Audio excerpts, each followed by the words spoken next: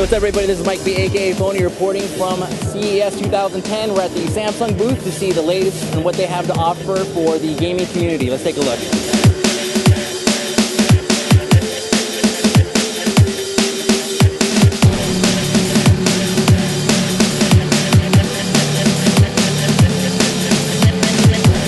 Standing in front of six monitors, uh, games uh, Flight Simulator running at 5760 by 2160 at uh, 2 an- 2x anti-aliasing, 60 hertz, off of an AMD ATI Eyefinity video card. The bezels on the monitors are extremely thin, so you don't get that uh, three or four inches of, of monitor left over in between each one.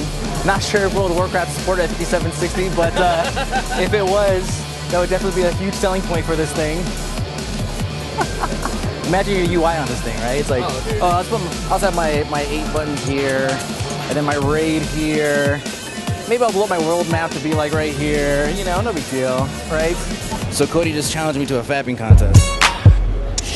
Who's, a, who's the better fabber? Oh, what the?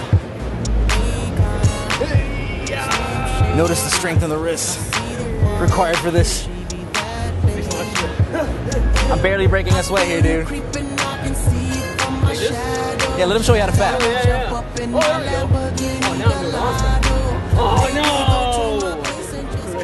So many of the things we're going to be covering out here in CES is going to be 3D TVs and surround sound system and headphones with 7.1 and all that nastiness and everything. And obviously, it's hard to kind of convey that over a traditional flat stereo camera, but I'm going to do my best. So as you can see, this is 3D TV. This is Gears of War being played in 3D.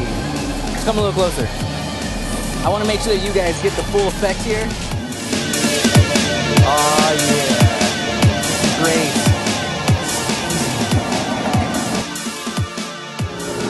So we're standing here in front of these ultra thin LED TVs that Samsung has on display, boarded up, very uh, secure style. These things are so incredibly thin, they literally make the Kindle and the iPhone look fat. It's ridiculous. Personally, though, if it doesn't come with touchscreen, I don't want it.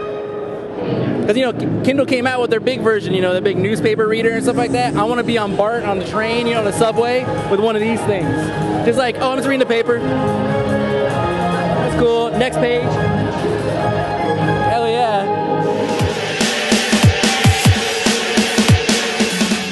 What are you, my producer now?